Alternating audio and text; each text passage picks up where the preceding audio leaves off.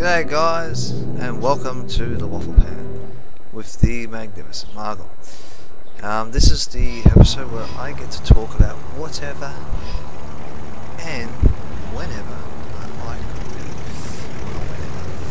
Um, I have actually had an absolute amazing actually, so a little bit of show just because had nothing better to do, so I thought, yeah, my, yeah, this, yeah, this is my, my well, just do some paragliding, side from side road stuff, get some altitude, um, now this is the week that was. Um, for me, as you all know, I was actually on day camp, um, which was amazing.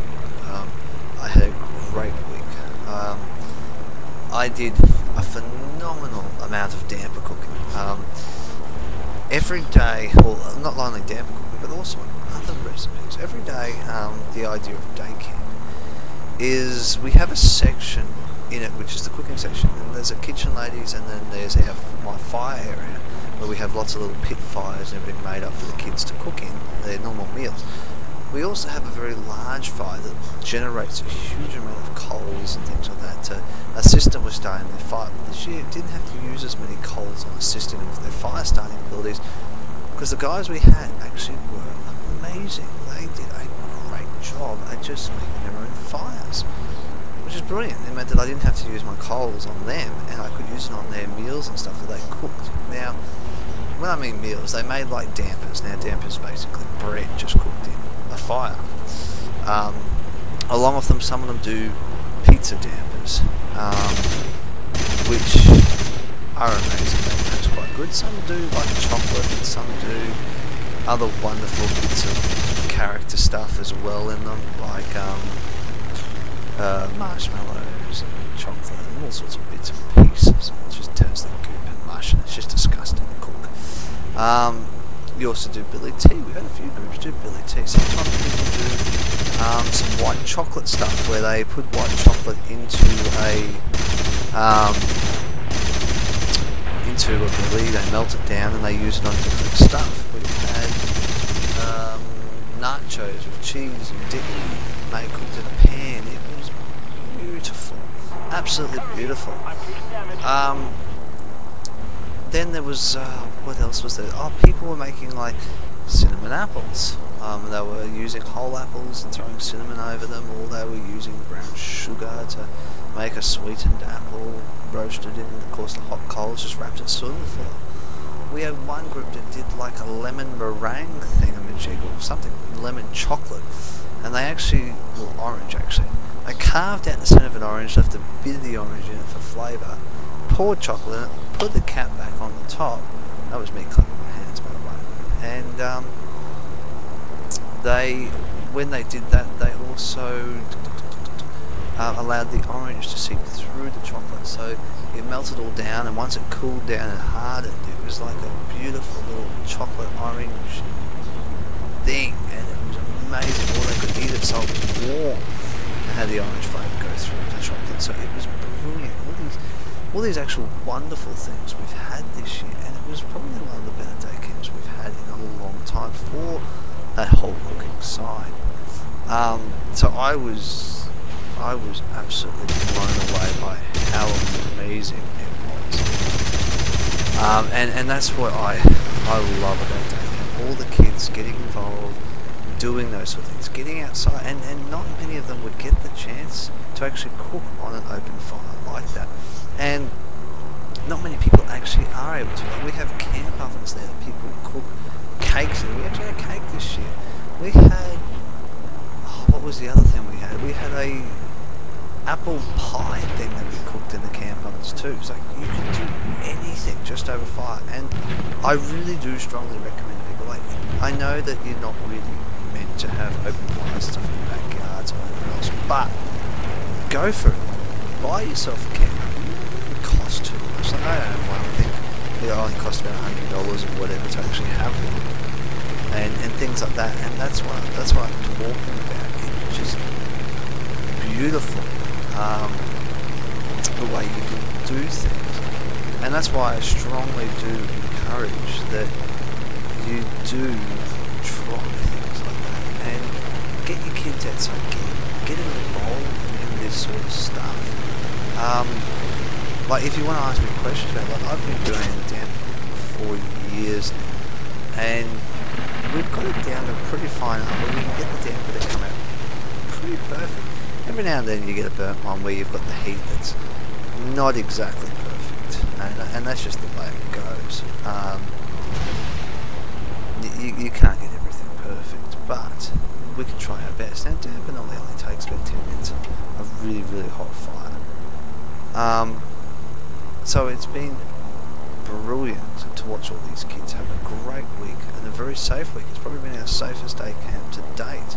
We've had no real major injuries or problems, and I had a ball, absolute ball. I loved every minute of it, and I was really, really, really happy. Um, and, and I love it, and I don't think I'm give it up anytime soon. Um, caught up with a lot of old friends um, that I haven't seen for quite a long time, and it was brilliant. Um, we they, they actually tried something new this year at day camp. They actually, um, yes, you can see when I get bored, I start involving my plans. Um, they had the year 8s there. Now, we normally don't have year 8s because year 8s are still too close to year 7.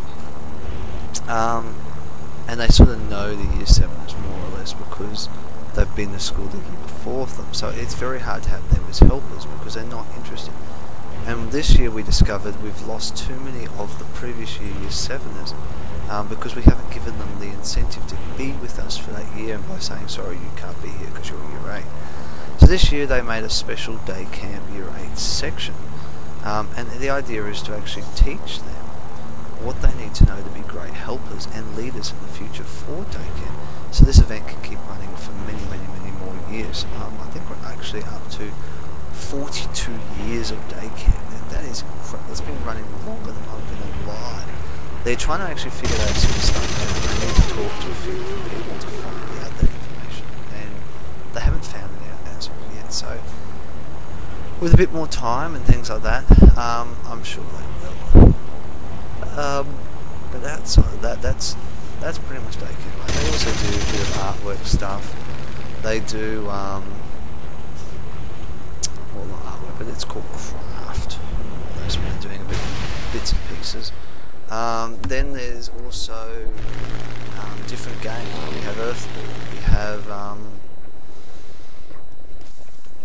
uh, parachute stuff, where you can use a parachute for games. They have um, an orienteering thing where they do an obstacle course and stuff like that, where they go around trying to find little things or clues to get to the next one. Um, they do get like a jumping castle thing, which is an obstacle course thing apparently. I don't know how it works. Um, some years we've had abseiling. This year we didn't have abseiling. Um, they do canoeing. Um, the year 8s, being the first grade, we decided to make it a bit more interesting.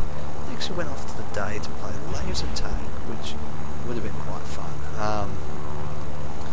Not quite as much fun as what paintball and things things are like that, like airsoft. Now, I would love to get involved in airsoft. I just gotta more or less get involved with someone in the local area that, that would know more about airsoft and whether I could participate. So that's that's that's one thing I, I would like to get into. I've done a little bit of paintball in the past. Um, haven't done any laser tag. Laser tag is basically using laser guns, similar to laser force, more or less, but out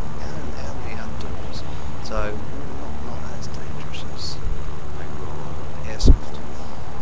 Um, so there's all those sort of interesting bits and pieces that we actually had going on. So it was really, really good. Um, and I absolutely had it. And I really did enjoy it, and I love the whole way it feels and everything that goes about it. So it was a good, good week. Um, um, well, as you all know, I've been playing a hell of a lot of um, lower tier battles. Um, reason is I'm actually trying to get into historical battles now. I know a lot of people don't recognize historical battles like they should, and I strongly recommend that if you're not involved now, get involved on any server across the board. Um, historical battles in all the tanks may not actually um, be around in the next patch by the way it seems. And I've been told it's not looking like it will be. Historical battles have not been a very big success for Wargaming. Now, I tend, tend to differ. I actually think that it's been great. Um, I've really, really enjoyed the battles I've done, but half the trouble is not what's playing. Um, and that's really disappointing because from the point of view of um, well, let's say for instance, um, I can't believe this guy chased me for as long as he did. This is just, I get all the way back to the airfield before this guy actually does anything to me. I'm just rolling the plane ever so slightly from side to side, pulling it across, making him shoot. He just follows me all the way Try to use this hill here as a bit of a, move a shield to get him off me. It doesn't work too well. All the other stuff.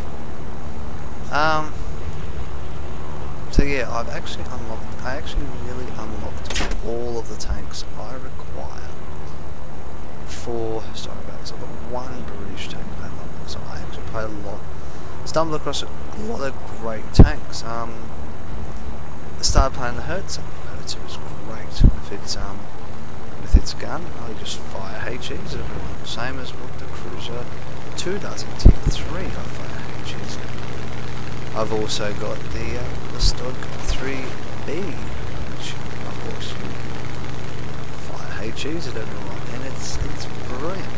Um, I actually played my first KV1 battle with nothing but HEs. Um, generally I do the high penetration gun, this time I decided to use the derp gun. And it, it's one of the matches I am going to put up tonight.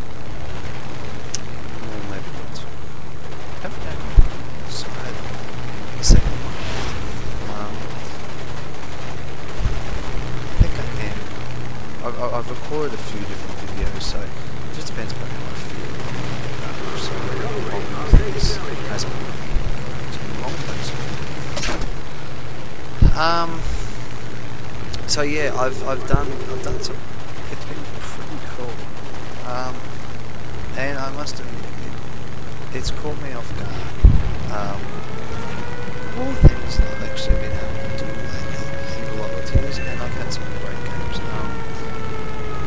I've been really, really, really happy with um, some of the players that joined me on lot of tanks too. Um, I am actually feeling pretty confident now. Um, we're getting to the stage where I've almost got 9 to 10 people I know playing, which means we might actually get... I'm going to really push hard to get people to play battles. Um, I really would love to do some company battles and, and put them Really pushing historical battles, and I think everyone should get involved in it. Um, when my team does get gathered, um, we might even do some team battles um, later on once people get up to sort of tier 8 uh, with different tanks. Now, not all everyone will have the wide variety that Kaz and I do. Um, maybe Show will probably have two tanks if um, Mr. Jellos was actually on. He might actually have a few more tanks than, than what he does to actually be able to join in, but he doesn't play that much um, along with um, uh, Slicer Chris. Um, he he hasn't actually been playing a lot, and his mate. I don't think what his mate's name is. I've only played a couple of battles half gave up. Um, then you've got, of course, Blackadder, um, Harlequin. You've got um, Zara, and you've got. Um, I think that's everyone. There's too many names. Too many. I know they're all by their real names, but I'm not using their real names on the internet because I don't think that's fair for them unless they really want me to. Um, so it's going to be interesting when we get into actual Blackout. If I say Blackout, I might have said Blackout. If I hadn't, sorry. I can't remember. I don't think any of you guys really watched this anyway. I think um, as does. Um, she is watching these sort of things. So, yeah, um, it, it's, it's quite, quite a lot of fun. So it's going to be interesting in the months. Um, so yeah, let's see how things go. Um, so yeah, it's going to be quite interesting in the upcoming months um, for me in World of Tanks particularly. Um, we all do actually play um, in uh, what do you call it, War Thunder. We don't get all the games together. That, that it's sort of it's a very big select crowd. Now, as you can see, in this battle, um, a VK30. Now, this has probably been one of the better 31s. Um, I finally made up my mind which one. It took me didn't take long to sort of pick out the game that I was really happy with. So this is the one I've chosen. Um, now Kaz is actually in his T3485. Now the interesting thing about it is it's the only medium tank that's really sung for him. Um, and it's taken him a long time to actually find and locate medium tank he's been really happy with. Now he played the A44 and other things like that. So he's he's played some amazing games over the last. Um, like we've played some great games together, and we played some doozies. When I saw that, I thought he was driving around the KV-1S, but it's just the style of hull. They didn't change the hull from the mediums very much. They gave him pretty well the same turret. Um, now we were both waiting for that 59 to pop up. And the funny thing is, there's actually a Stuart that pops up that we both shoot, and the 59 then shoots me. So that was a bit bit of a poor poor decision making there, but oh, that's the way it goes. Um, so that's pretty well what's happening in tanks. War Thunder wise, I haven't played a lot um, this week. Uh, it's just been a very disappointing week for me, War Thunder wise, and I am sorry for everyone who does sort of watch my War Thunder videos. Um, I had to actually specially play a game today on War Thunder just so you guys had a War Thunder game to watch. Um, that was how bad it was. But when you get friends that are only just sort of starting to play in World of Tanks, you sort of you devote a lot more time to them and their needs. Um, upcoming reviews. Well, I am going to do a review this week. I might even have two coming out. Um, one of my reviews will be on the Cruiser Mark II. Um, it is. This is actually funny. Look at this. Set him on fire. Only thing is now my hit log for some unknown reason had an error pop up on it and it stopped recording my damage after this point so I didn't know how much damage I'd caused after this battle. But anyway. Um, so yes, it's been been this is interesting. I fire and it lands just underneath him. That was incredible. I just take a snap pot shot. Push the little Stuart up a bit so I've got a bit of a shield if I need it. And we both called, alright, Black Prince is priority. Black Prince is priority. We need to take him out. But the KV-5 is trolling him a bit. He had a great game, this KV-5. Brilliant. Um, what was I saying? War Thunder, historical, great game. Can't remember. This is the worst thing about it. Um, when you, you sort of waffle on, you drift in and out of different sections. You just, can't remember. Oh God, what were we talking about? Huh? People will probably sit there going, "Why are you not talking about what you're meant to be talking about?" Because I forgot. Oh dear. So, anyway, let, let, let's pick a new topic. Um, game wise for me, um, I'm probably um, looking at in the next few months, maybe doing a bit of WoW. Um, WoW is getting pretty close to release. Um, it's only a couple months away, so I may jump back in fairly soon, just for the hell of it. But I don't know yet. Um, oh, that reminds me. Um, I am, I am just about to start putting together. Oh, reviews. Now I remember. what- I remember that now. Um, reviews. Um, I'm going to start putting together my birthday present from my brother. So I will half-heartedly this scumbag. And then the cheeky devil, Kaz on the hill there, shoots my track off. and that was the funny thing. I'm just driving along, watching scumbag, and all of a sudden, boom, there goes the track, and here he is laughing up there on the train line. Good on ya. Yeah, you up there. And then, of course, me being me, well, I can't let him get away with that. So I turn my gun round and fire one round into him. So that was okay. That's the, the way it goes. So it wasn't too bad. Um, he fires another one at me and just misses. Just he, it used to be me doing that to him. So I, I I fully respect the fact that he did that and things like that. So um, reviews this week, as I said, the Cruiser 2, um, and I might actually do a KV1 review.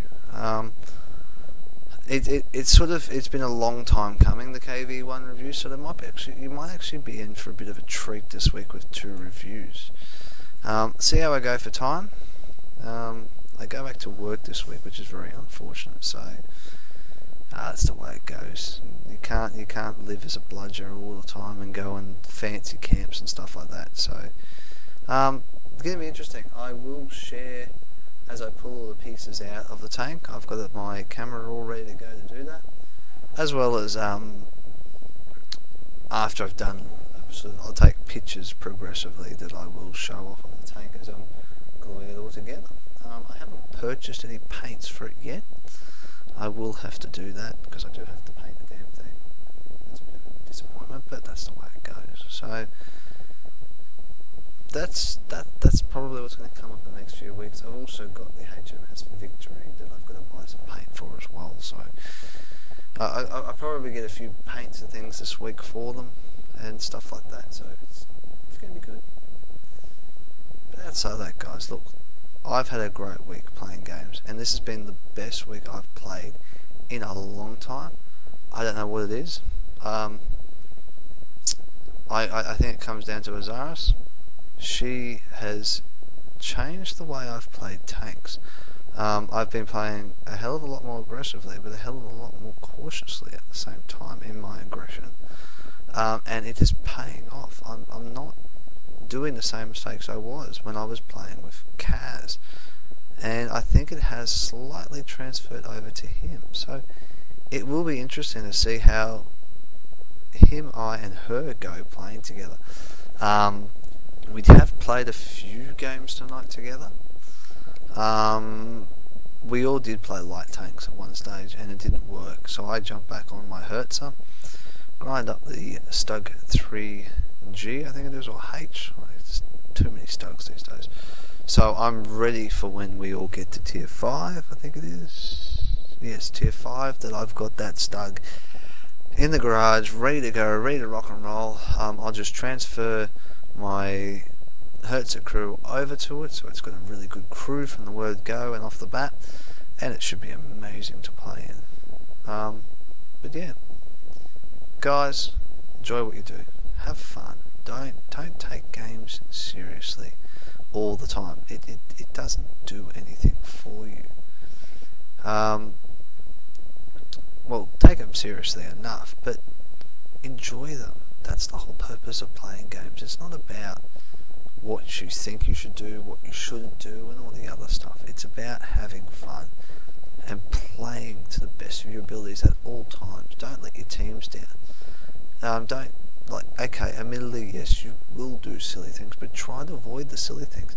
You'll find you'll have a better game and you'll enjoy it a lot more, and you won't rage quit as often. Um, I probably had a little bit of a rage moment myself this evening, and that was only because I had a scumbag in two battles in a row just focus fire me. Whether whether you, whether he's watched my videos or something, I don't know, but I was not happy. But they were two different battles. So I doubt it very much. I think it was just the fact that, oh look, there's a light tank cruiser 2, take him out. Oh look, there's a KV-1, take him out. And I think that's just the way it goes sometimes. Sometimes you just play the tanks and you get a big cross on you to hit them. So I did rage quit, but I only rage quit because I was frustrated. So guys, enjoy what you do. Um, play smart, have great games, happy hunting. I'll catch you in the skies, and I'll see you on the battlefields.